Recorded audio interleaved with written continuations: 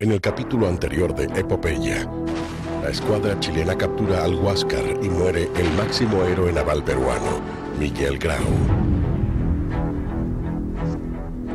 El ministro Sotomayor conquista con las tropas chilenas el desierto más árido del mundo. El desembarco anfibio, las tropas chilenas capturan el puerto de Pisagua. Perú y Bolivia sufren una gran derrota en el campo de la Alianza. Las tropas chilenas capturan en 55 minutos el morro de Arica. Chile a las puertas de Lima.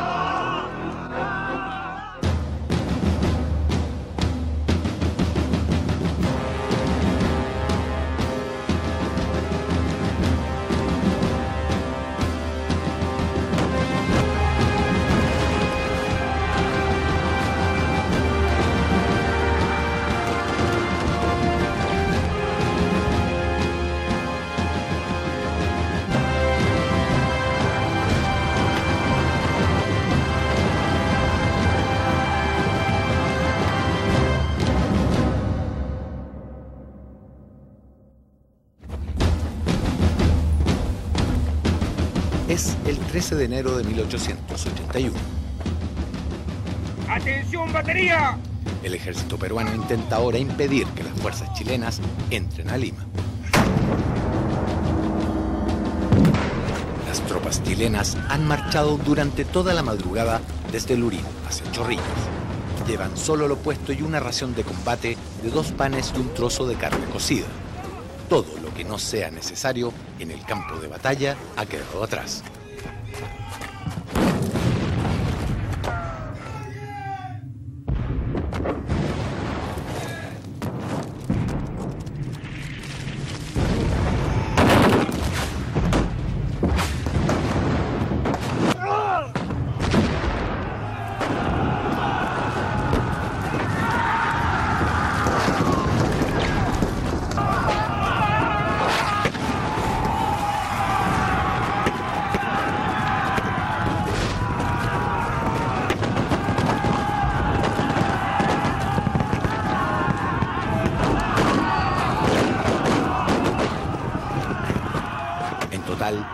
8.000 soldados de ambos países morirán en menos de 24 horas, en una de las batallas más cruentas de toda la Guerra del Pacífico.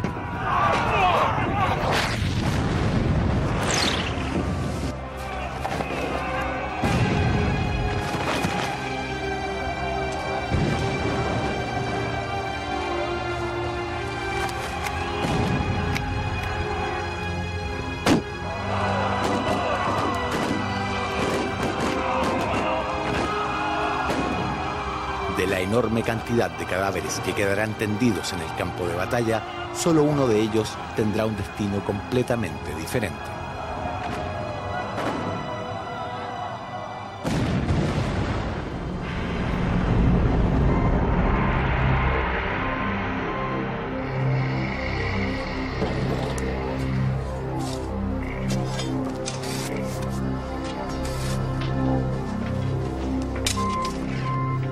El 10 de marzo de 1998, el cuerpo de este soldado fue encontrado casualmente acá, en el distrito de Chorrillos, por un grupo de obreros que construía un cerco para la Escuela Nacional de Policía en el Cerro Zigzag. Aunque en principio se pensó en un crimen político correspondiente a las últimas décadas, la fiscal que llegó hasta el lugar notó que el cadáver estaba vestido con un antiguo uniforme militar.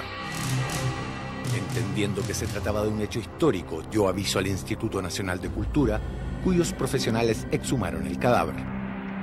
Los expertos se sorprendieron al descubrir que el entierro salía de lo común. El cuerpo estaba rodeado de armas y accesorios de combate, dispuestos en un orden específico, como si alguien hubiese realizado algún tipo de ritual. Los restos del soldado chileno están perfectamente conservados. Mantiene intacto el uniforme. Vestía chaqueta roja, pantalón beige y un pañuelo en la cabeza. Aún portaba su bayoneta y algunas municiones de fabricación. A diferencia de lo que sucedió en Perú, donde este increíble hallazgo tuvo una gran cobertura de prensa, en Chile la noticia pasó casi inadvertida. Entre las pertenencias se encontró una pequeña libreta en la cual anotó fechas y lugares desde el ingreso de las tropas chilenas a territorio peruano en 1880. Mientras los heridos quedan rezagados, el ejército se toma el balneario de Chorrillos. Chorrillos es ocupada después de la batalla y se deja que las tropas chilenas saqueen durante la noche. Se repiten las escenas que son más o menos habituales en una guerra, en una ocupación de este tipo, saqueos, incendios, violaciones, etc. Diría yo, el 90% del ejército chileno estaba formado por, por peones, gañanes, por rotos, y estaban acostumbrados ellos, por siglos de la guerra contra los mapuches, a asaltar y robar, asaltar y robar, asaltar y robar, pillaje.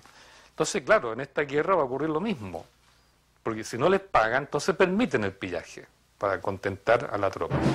En esas horas de confusión, destaca en el lado peruano un oficial de gran experiencia y capacidad organizadora, el coronel Andrés Avelino Cáceres. Aprovechando el desorden en Chorrillos, Cáceres concibe un audaz plan Cáceres solicita a Pierola, al dictador Pierola, que le permita, tiene 2.500 hombres ya juntados, atacar en la noche. Rechazan la idea porque eh, consideran que no va a lograr nada. Históricamente se sabe después que eh, el ejército chileno estaba desbandado precisamente por el saqueo, por la borrachera.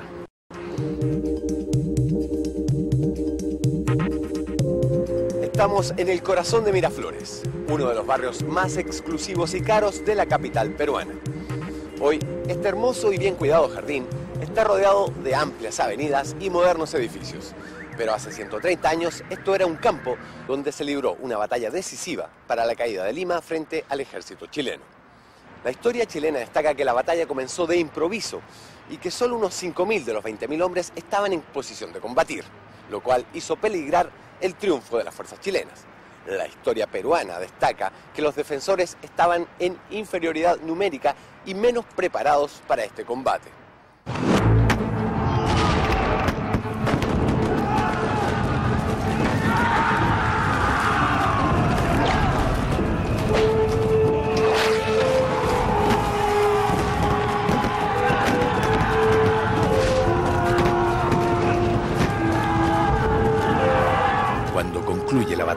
De Miraflores, muchos heridos quedan tirados en el suelo y se desangran hasta morir.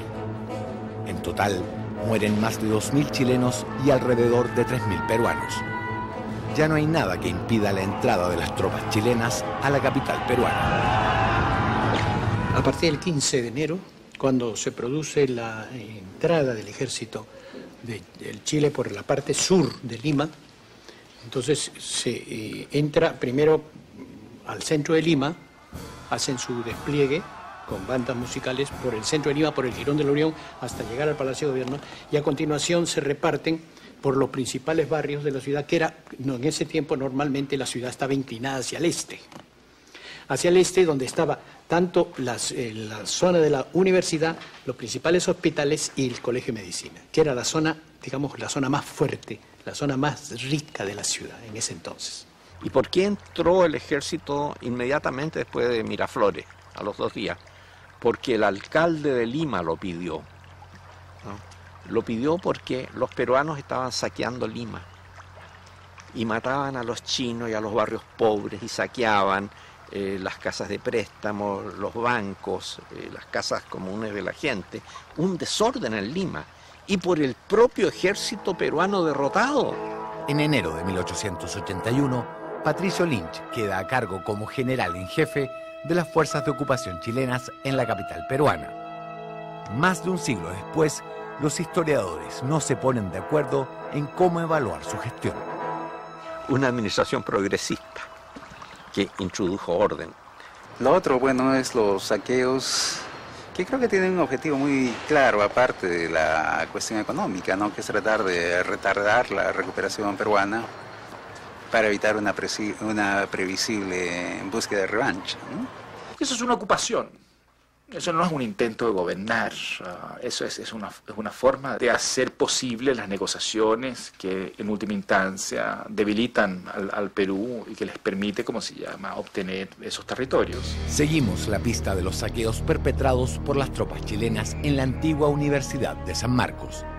También indagamos en lo que pasó en los laboratorios y bibliotecas de la Escuela de Medicina, la Escuela de Ingenieros y el Jardín Botánico de Lima. Lo más valioso en el caso de la Escuela de Ingenieros son los equipos.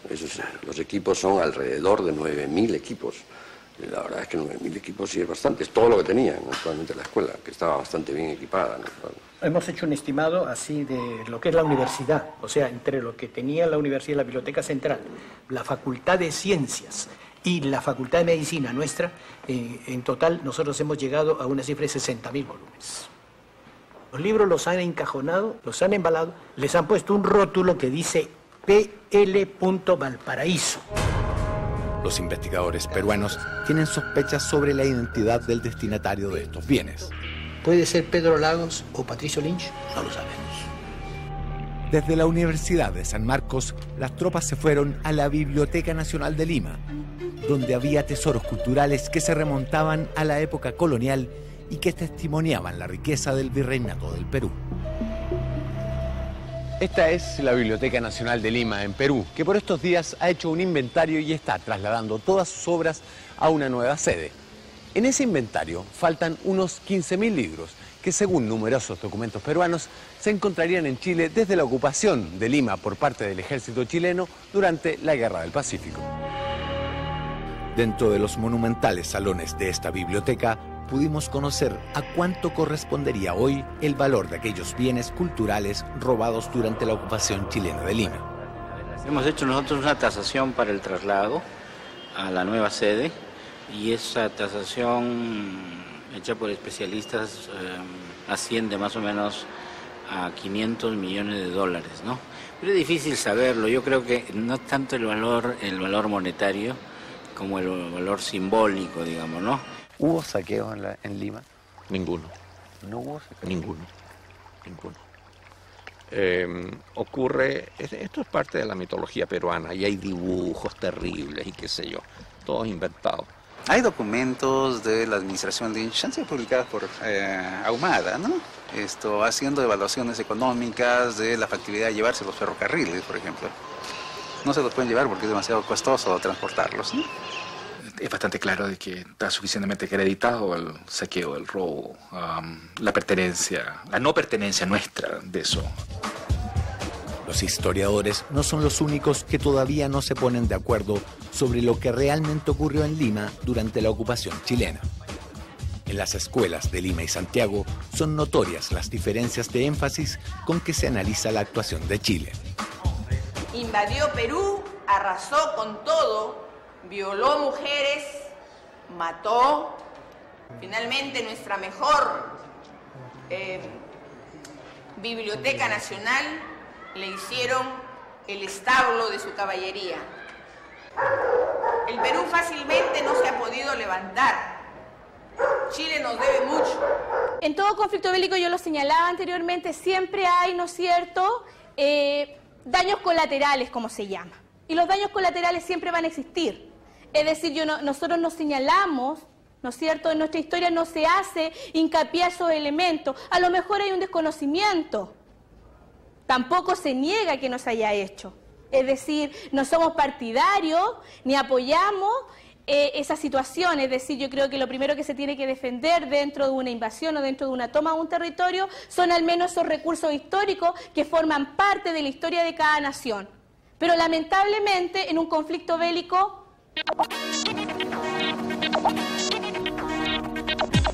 como parte de nuestra investigación en Lima, nos hemos propuesto ver el cadáver del soldado chileno exhumado en Chorrillos e investigar las circunstancias exactas que rodearon su muerte.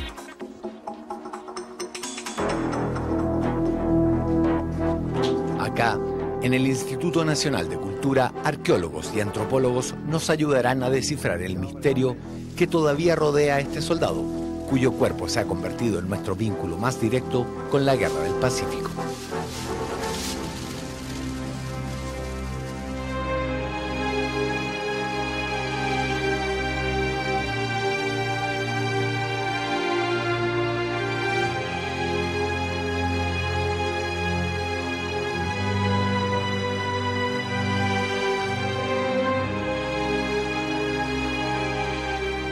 Tal cual fue traído por el arqueólogo Dante Casareto del campo.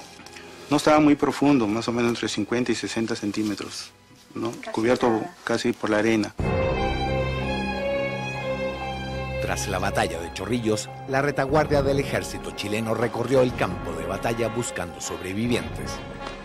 Es probable que uno de estos grupos haya encontrado el cuerpo del soldado chileno y haya decidido sepultarlo.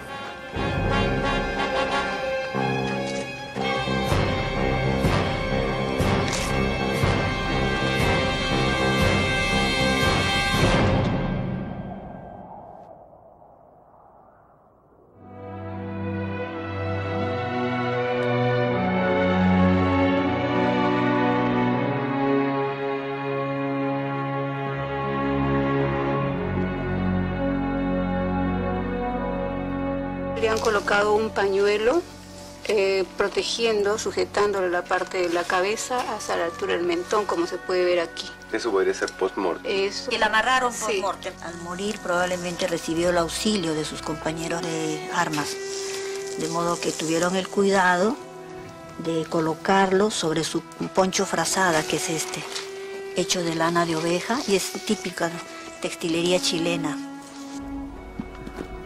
Quizás este mismo grupo, por razones que todavía son un misterio, enterró al soldado de un modo particular, rodeándolo cuidadosamente de todas sus armas y enseres. Lo característico que nos llamó la atención eh, cuando ya retiramos eh, el cuerpo fue que tenía una bala de esas que estaban viendo en antes aquí, las tenía encima de su cuerpo, o sea, casi a esta altura, y la otra, otra bala debajo de su espalda. Estaba aquí, más o menos.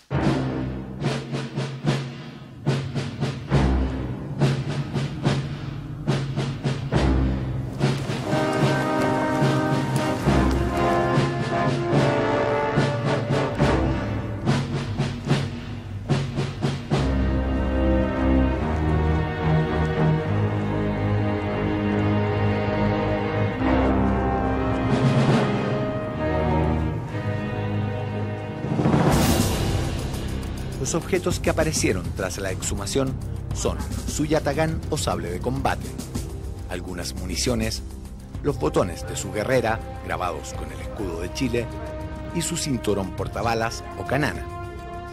Este accesorio tiene 20 bolsillos, cada uno de ellos contenía 10 proyectiles, por lo que podía cargar en total hasta 200 municiones en el campo de batalla. Al mirar el reverso de la canana aparecen unas letras escondidas, cuyo significado no han podido descifrar los expertos peruanos. ¿Corresponderán tal vez a las iniciales del nombre de este soldado? Tal vez descubramos alguna pista en la posesión más sorprendente de todas las que dejó, un diario o libreta de notas con apuntes manuscritos donde detalla maniobras militares de entrenamiento propias del ejército chileno y enumera los lugares en que estuvo en campaña. Son las últimas anotaciones realizadas antes de su muerte en combate. En 1881 termina su periodo el presidente chileno Aníbal Pinto y asume como nuevo mandatario Domingo Santa María. Una de las primeras medidas del nuevo presidente es la devolución parcial de libros a Lima. Cerca de 14.000 ejemplares son recuperados por los peruanos, sumando aquellos que consiguen por otras vías. Actualmente el gobierno de Chile gestiona la devolución de otros ejemplares que aún permanecen en nuestro país.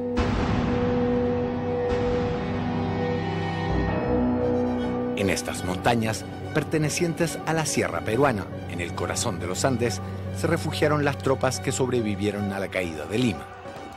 Desde acá darán un nuevo giro a la guerra, organizando una agotadora y sangrienta guerra de guerrillas bajo la dirección de un carismático líder, el coronel Andrés Avelino Cáceres, conocido como el Brujo de los Andes. ¿Por qué el Brujo de los Andes?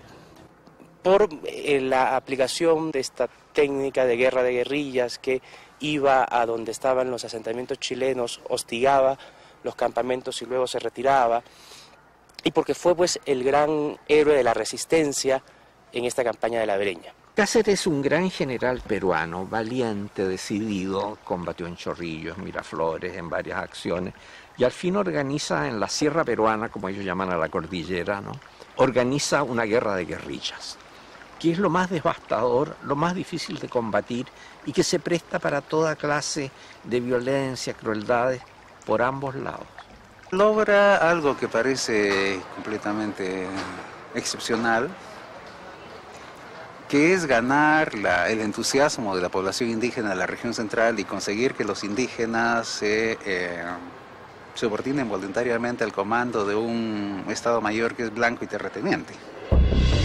Desde Lima, Patricio Lynch envía distintas expediciones a la sierra peruana con el objetivo de controlar pueblos y caseríos.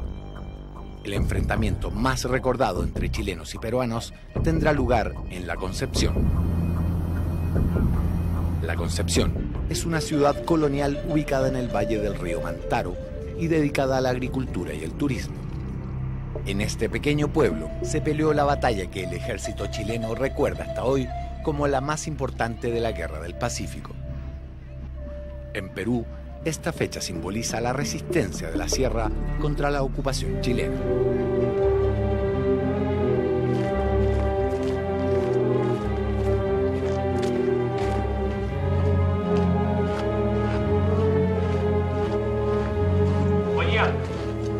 Llegado a nuestro destino la Concepción.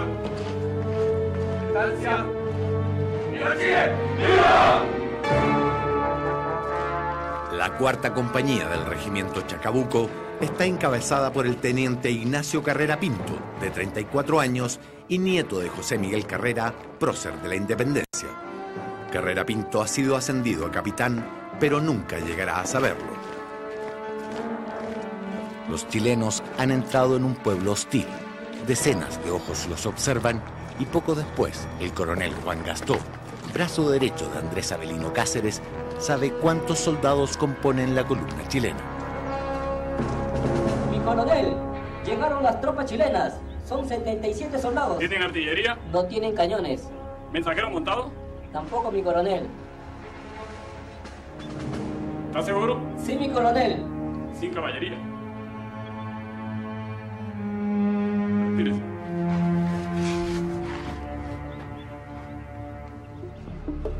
Así luce hoy la iglesia de la Concepción, construida sobre las ruinas del convento en que se peleó la batalla de los días 9 y 10 de julio de 1882.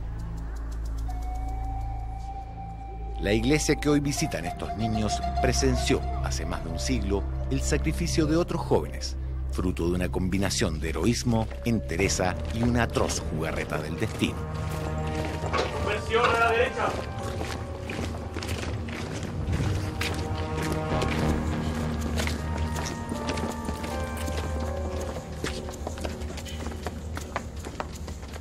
Descansen. Armas. Bienvenido a la Concepción, mi teniente.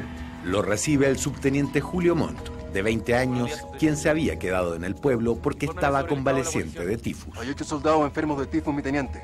Y hay tres mujeres conmigo en la guarnición. Una de ellas está embarazada a punto de dar a luz, mi teniente. Brescanto. Sí, mi teniente. Ausente la compañía en el lugar. A la orden, mi teniente. Compañía. La mano derecha de Carrera Pinto es casi un niño, el subteniente Pérez Canto. Al hombro. Armas. A la derecha. De frente. Armas.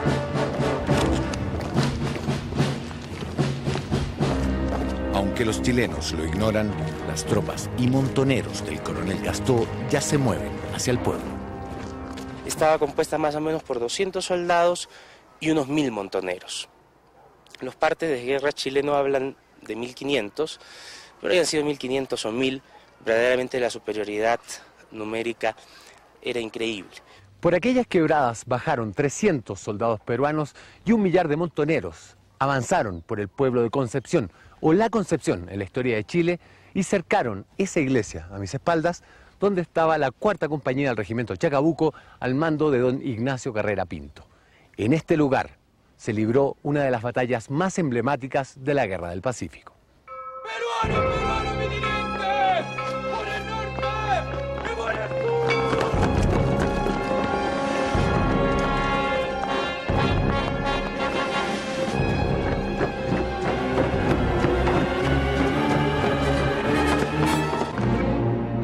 Teniente, si me tribuna a toda la compañía inmediatamente. A la orden, mi teniente.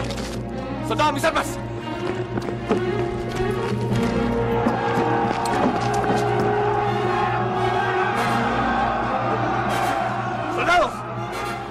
Lo acordado, las cuartas cerrar las bocas calles. Cuiden sus municiones. Tenemos 100 tiros por cabeza. Disparen solamente cuando esté el blanco en la mira. ¡Subtenientes!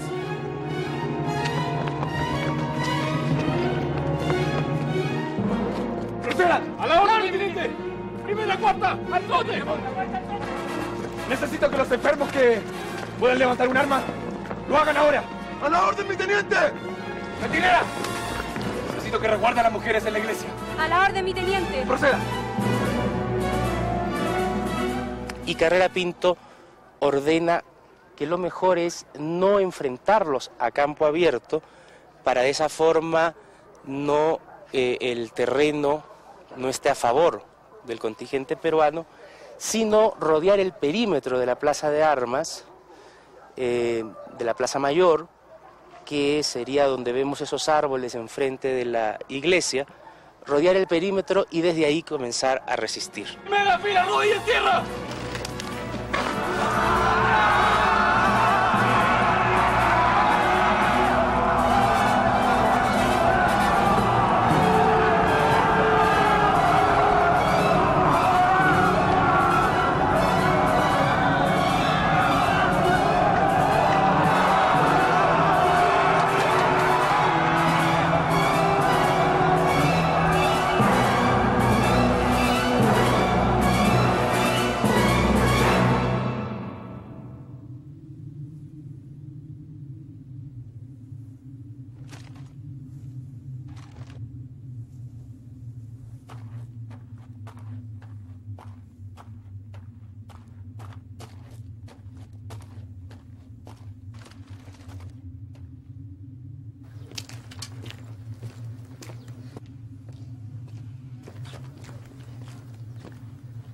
Traigo una misiva para el oficial al mando.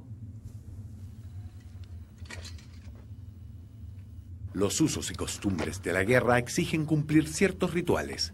El coronel Gastó hace llegar una carta solicitando la rendición de la tropa chilena.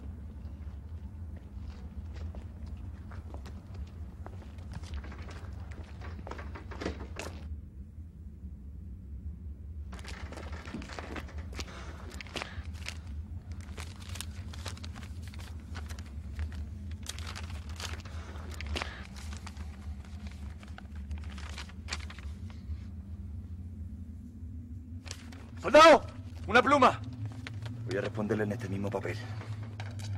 Carrera tiene solo dos opciones, rendirse y vivir o pelear y morir junto a todos sus hombres. Carrera Pinto contesta lo que todos ustedes saben, que él no se puede rendir porque por sus venas corre sangre del prócer de la independencia Carrera y que tiene que ofrendar su vida por la libertad. Respuesta a los chilenos.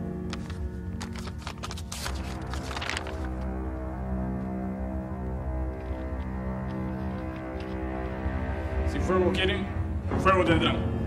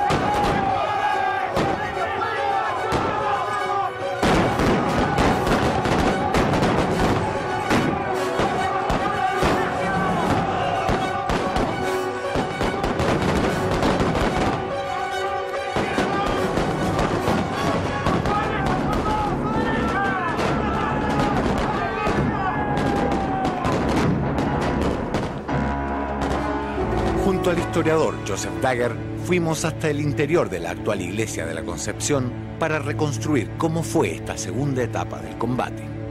Cuando ya no pudieron resistir más el, em- eh, porque la superioridad numérica peruana era grande, entonces se atrincheraron dentro del convento, ¿no? dentro de lo que hoy es, es esta iglesia. Debemos de suponer que aquí habían ventanas que fueron tapiadas. Efectivamente, eran- habían, hubo ventanas que fueron tapiadas, hubo puertas que fueron cerradas. ¿Habría un segundo piso o sería más bajo? Yo creo que sería más bajo, sí. Y el, el material incluso de la, de la época, que después ha sido reconstruido, pero el material era adobe. Adobe, resistía el impacto. La tarde deja lugar a la noche rápidamente entre los cerros de la sierra peruana. Cocina del convento ocurre lo inimaginable. La vida en ese rincón de la iglesia de la Concepción se impone en medio de tanta muerte. ¡Puja, puja! ¡Vamos, vamos! ¡Ahí viene, puja!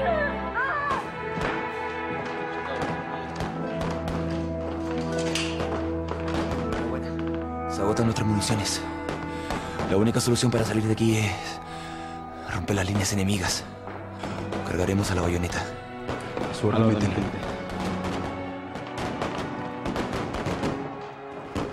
La versión peruana dice que horas más tarde envían dos emisarios más para volver a intentar el- la rendición, pero que estos emisarios son avaliados por parte del eh, regimiento chileno, lo cual haría que el combate fuese mucho más feroz.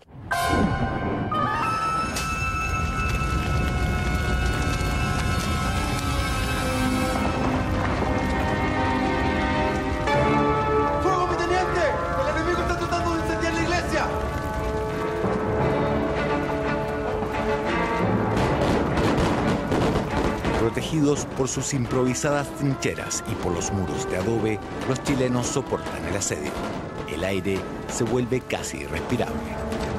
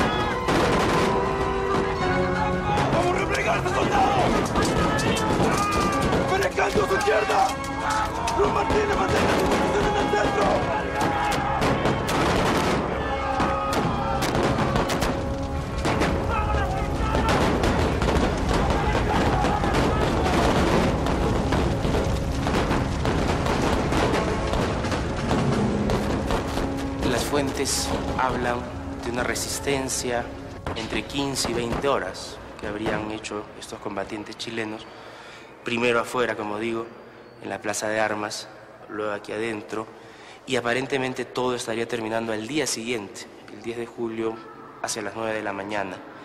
Es decir, estamos hablando de una resistencia que dura toda la madrugada. Amanece en el pueblo de la Concepción. Las bajas chilenas cubren el atrio de la iglesia.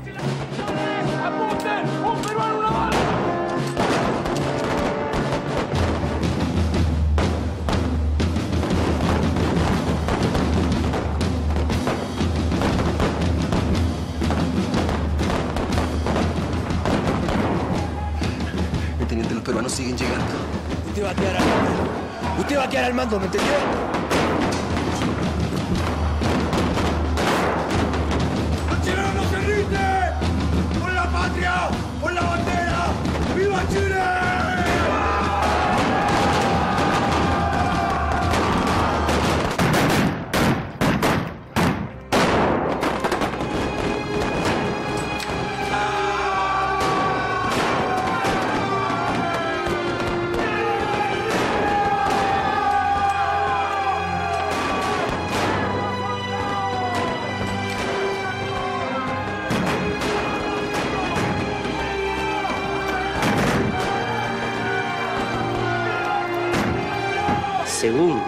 versión peruana, a las 9 de la mañana del, del 10 de julio, salen rendidos entre 6 y 12 chilenos. ¡Ciudadanos, ríndanse! ¡Su vida serán respetadas! Ustedes saben que no nos van a respetar la vida, soldado. Los chacabucanos no se rinden. En la hora final, el único oficial vivo que queda es el subteniente Luis Cruz Martínez, de apenas 16 años, un joven que esperaba el fin de la guerra para terminar sus estudios en el Liceo de Curicó. A él y a cada uno de sus hombres les queda solo una bala. Y por la patria, un chileno no se rinde jamás. ¡Viva Chile! ¡Viva!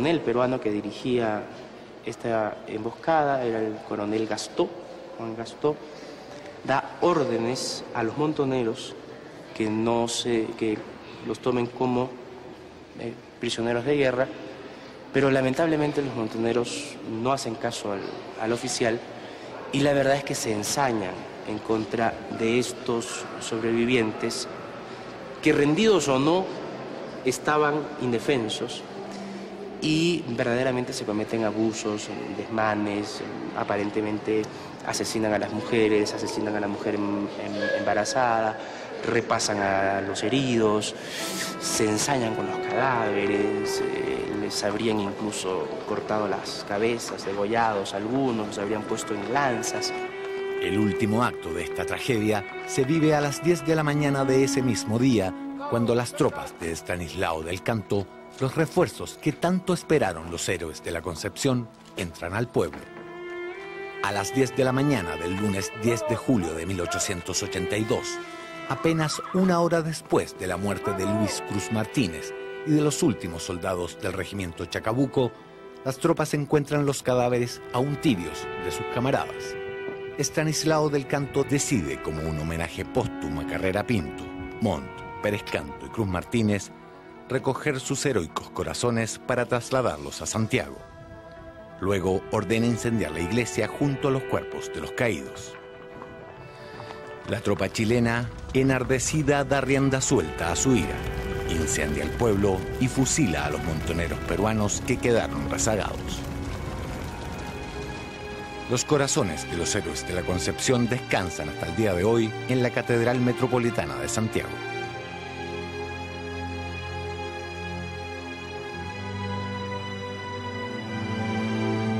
Seguimos investigando en el Instituto Nacional de Cultura de Lima.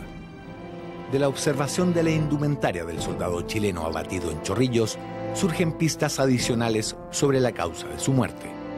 ¿Esto es, esto es una herida? Sí, ese es el bayonetazo. El corte acá y de repente se ¿Alguien pone que se por la cortada también. Ahí está bien, doctora.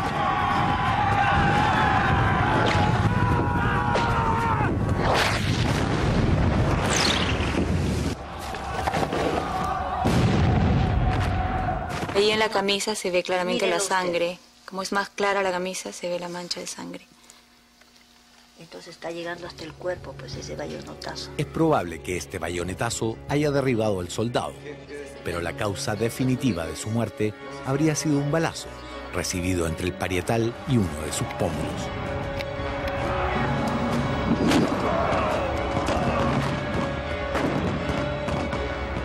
un agujero de entrada donde seguro vamos a ver el bisel interno que cuando entra la bala con fuerza, ¿cierto? va a entrar con una fuerza y al salir es que va a explotar el cráneo, ¿no? va, va a romper todo lo que sale.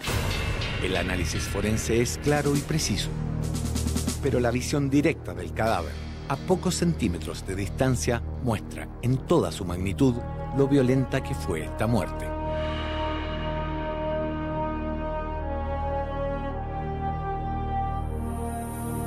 No lo han reclamado, ¿no? Lo cual fue lamentable, porque nosotros con Dante creíamos que cuando hubo toda la noticia de televisión, radio, la prensa, fue por los cinco continentes la noticia, pensamos que inmediatamente el embajador nos pedía o algo había o, hacíamos un acuerdo o algo, ¿no? Pero absolutamente nada. Es un símbolo no solo chileno, sino también peruano, porque sabemos que en una guerra nadie gana ni nadie pierde, todos perdemos, todos perdemos. Y nosotros cuando lo vemos acá vemos, pensamos, fue el hijo de alguien, el esposo de alguien, alguien lo lloró, y no queremos que vuelva a pasar una cosa así entre, entre nuestros países. Entonces por eso también lo tenemos con mucho respeto y mucho cariño. La falta de recursos y el temor a dañar el cadáver del soldado chileno han impedido a los expertos peruanos realizar nuevos exámenes para profundizar en las circunstancias de su muerte. Mientras tanto, su identidad es el próximo misterio que intentaremos resolver. Para mayo de 1883, Perú tiene dos presidentes al mismo tiempo. Uno de ellos, Miguel de Iglesias, está dispuesto a firmar la paz con Chile. El ejército chileno envía tropas a proteger a Iglesias y sale a buscar a Andrés Avelino Cáceres. La batalla decisiva se pelea en Huamachuco, un pueblo de 8.000 habitantes ubicado en la Sierra Norte peruana.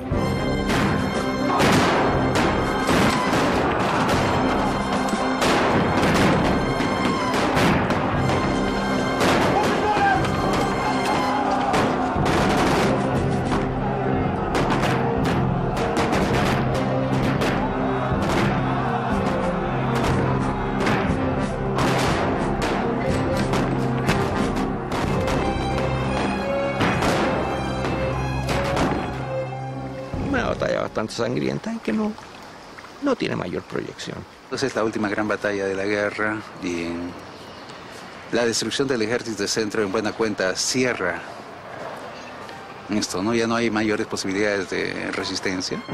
Cáceres escapa a Bolivia. Más tarde será presidente del Perú. A pesar de que después de la guerra tiene una posición anticampesina, él sigue siendo un ídolo popular y un fenómeno excepcional en las sierras centrales que año a año se conmemora la guerra con Chile. Alguna vez Pablo Mancera dijo una gran verdad, ¿no? El único lugar en el Perú donde la guerra con Chile no es un recuerdo vergonzoso es la Sierra Central, ¿no? El campesinado celebra cada año porque ellos ganaron su guerra. Más de un siglo después de terminada la Guerra del Pacífico, cuando los países involucrados ya han escrito su propia versión de la historia, le preguntamos a los peruanos a qué atribuyen ellos el triunfo chileno. Chile tuvo respaldo de los ingleses. Porque ellos estaban preparados o tuvieron una ayuda. Porque este Perú estaba saliendo de, época de colonia, diciendo formándose una república. Chile no nos ganó la guerra, sino nos ganaron los ingleses. En Santiago repetimos la pregunta. ¿Por qué Chile ganó la guerra? Táctica. Por el apoyo inglés, fundamentalmente creo yo que estaba mejor preparado. Lo que es estrategia, eh, lo que fue el llevar tropas vía marítima, lo, que fue seguir, ¿cierto? Una vez conquistado Lima y Bajo Perú, seguir a Alto Perú, seguir a la sierra y finalmente terminar, ¿cierto? Los pocos focos que iban quedando. Una vez terminada la Guerra del Pacífico, las tropas chilenas regresan a Valparaíso y Santiago. Es durante este regreso a casa cuando el roto chileno vive su breve momento de gloria de, ser visto como un personaje levantisco, esto indeseable, creador de desórdenes, a medida que avanza hacia el norte se convierte en una especie de héroe popular.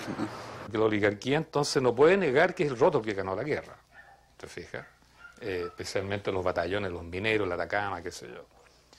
Entonces cambia la, la, percepción y se le hace, se le recibe con arcos de triunfo en la Alameda, se le aplaude. Manifestaciones eh, de mucha alegría, de mucho patriotismo, pero pareciera que estas, con el transcurrir del tiempo, terminaron eh, siendo no más que eso, una manifestación y un agradecimiento eh, de tipo simbólico, porque económico prácticamente no lo hubo.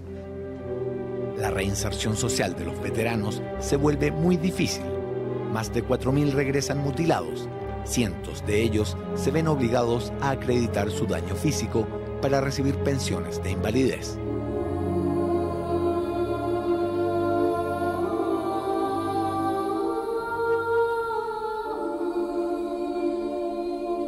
La mayor parte de las veces, las pensiones resultan insuficientes. Y aquí aparece entonces de nuevo el vagabundaje, con una diferencia. Ahora este es un peón que se acostumbró andar con fusil a caballo y matando. Entonces, recrudece la delincuencia después de, la Guerra del Pacífico. Algunos veteranos terminan pidiendo limosna en la calle. Otros se convierten en delincuentes y hay quienes mueren indigentes y son sepultados solamente gracias a la caridad pública. Pero hubo miles de soldados que no sobrevivieron a la guerra. Sus cuerpos quedaron diseminados en los campos de batalla, donde eran incinerados a las pocas horas para evitar infecciones y plagas. El alto costo en vidas humanas que tuvo la Guerra del Pacífico dio paso después a otro tipo de balance. ¿Qué ganó Chile con este conflicto? Es fundamental para definir el equilibrio geopolítico de América Latina, ¿no? Eh, rompe esa disputa por la hegemonía que venía desde fines del periodo colonial entre Chile y Perú, entre Valparaíso y Callao.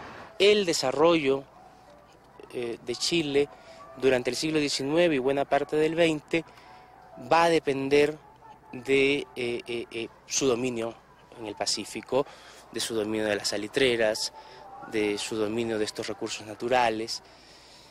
Ya no es el salitre, es el cobre, la pesca, ¿no? es el tráfico internacional.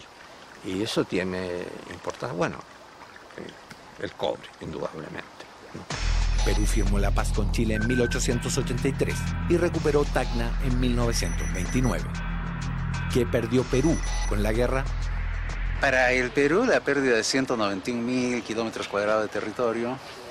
Lo más importante, acaba las posibilidades históricas de que se pudiera constituir aquí una burguesía con un proyecto nacional propio. Y la burguesía peruana en el futuro, en la posguerra, va a resignarse a su papel de socia menor del imperialismo. ¿no? garantizar el orden interno para los negocios de las empresas extranjeras, pero sin ninguna pretensión de independencia. Bolivia firmó la paz con Chile en 1904. ¿Qué perdió Bolivia con esta guerra? Bolivia entregó todo un, todo un departamento, desde el paralelo 23 hasta el río Loa.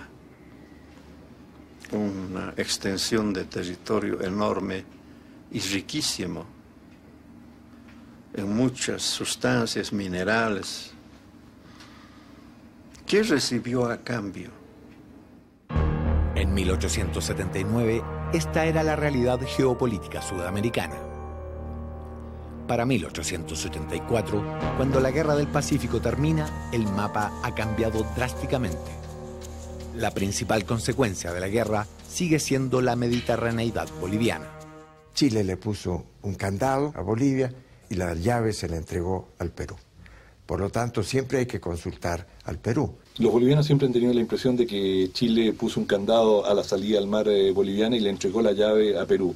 Y el hecho de que Perú apenas ha sentido de que Chile está considerando una salida al mar eh, para Bolivia, al norte de Arica, rediseñó o planteó el rediseño de la frontera marítima. Y eso tiene mucho que ver con la llave que Perú no quiere entregar y no quiere perder sus fronteras con Chile. Es una visión más o menos cínica, ¿no? Que se resume en esta frase de Querejazo, ¿no? Esto, Chile le puso el candado a Bolivia y Perú se quedó con la llave. Es decir, que eh, terminan presentando una visión por la cual Perú y Chile se complotan para encerrar a los pobres bolivianos. El salitre, que había sido el gran detonante de la guerra, quedó bajo el monopolio mundial chileno. Para el presupuesto chileno, el salitre en 1880 representa el 5%. En 1885 representa el 52% del presupuesto. Pero hubo inversionistas ingleses que en plena guerra compraron los yacimientos a bajo precio y se convirtieron en sus nuevos dueños. De ahí en adelante, el fisco chileno solo recibiría ingresos millonarios a través de los impuestos.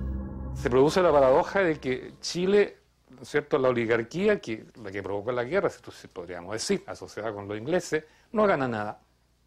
Pero el Estado sí. Y por eso Balmaceda comienza a construir ¿verdad? obras públicas como loco. Bueno, y eso explica por qué la oligarquía después se mueve para controlar el capital que tenía el Estado y parlamentariza el Estado. ¿Fija?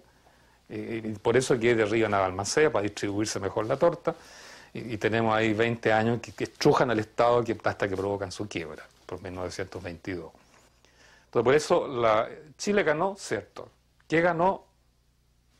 La paradoja de esto es que tampoco el salitre es una completa bendición para Chile, ¿no? El primer golpe militar que ustedes tienen es por la nacionalización del salitre por Balmaceda. ¿Por qué? Porque Nor se ha apropiado en una década de lo que Chile acaba de conquistar. A la larga perdemos todos y sabemos quién es el ganador. Al igual que para miles de víctimas anónimas de los tres países, para el soldado chileno cuyo cuerpo fue encontrado en las afueras de Lima, hay un epílogo que aún no se ha escrito. Todavía falta conocer su nombre y saber quién fue. Con la información recopilada en Perú y una copia de la libreta del soldado, regresamos a Santiago a conocer algunas de las hipótesis que han surgido para identificarlo. La primera pista que trajimos a los investigadores de la historia militar chilena fueron las iniciales grabadas en la canana del soldado.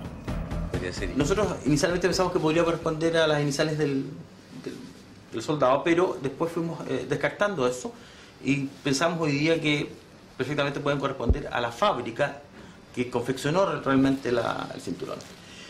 Podría ser una fábrica, a una fábrica de Samuel Valdivieso, que era una sastrería famosa y que y con muchos talleres de la época eh, se dedicaron a la confección de este tipo de, de este modelo de porta cajas de, de, de, de munición.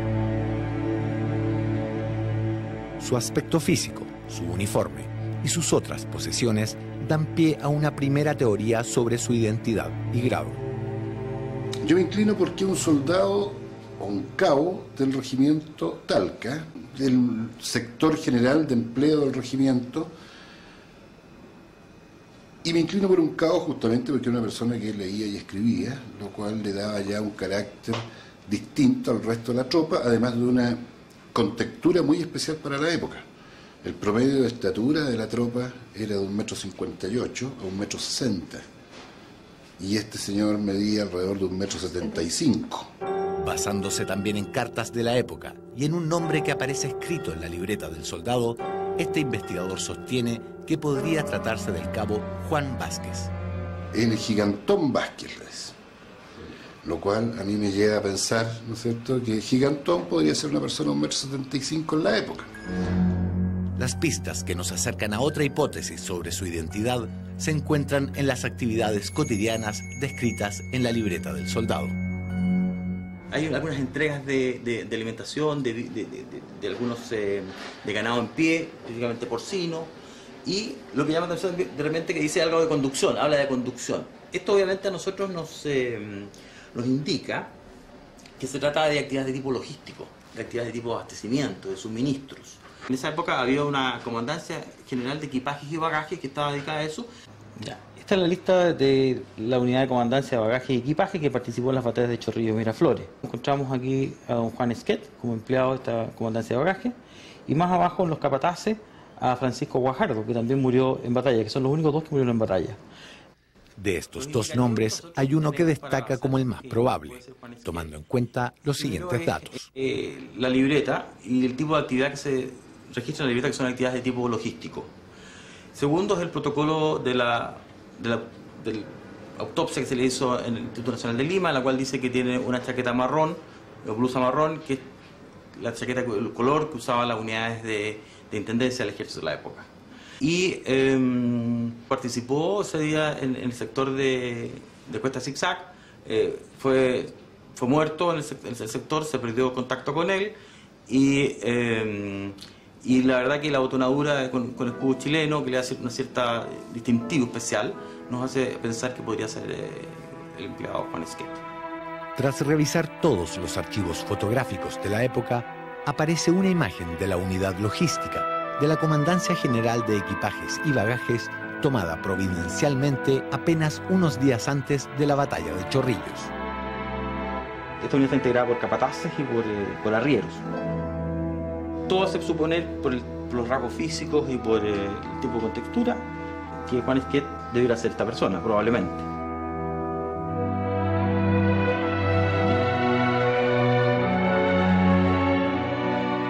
Fueron miles los chilenos que participaron en la Guerra del Pacífico.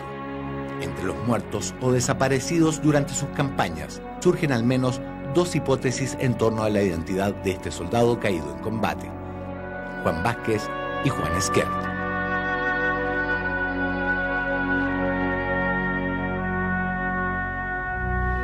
La epopeya de este soldado es también la de miles de soldados chilenos, bolivianos y peruanos. Sus ojos vieron y sus almas sufrieron las mismas penurias, el mismo dolor de otros miles de combatientes de los tres países que volvieron a sus hogares victoriosos o derrotados, vivos o muertos. Este es un homenaje a todos los que sin importar su bandera sufrieron la agonía de la guerra, soportaron el hambre, la sed y la fatiga, se sobrepusieron al horrible miedo que caló en sus corazones antes de la batalla, que vieron caer a sus amigos y finalmente supieron enfrentar la muerte con dignidad y heroísmo.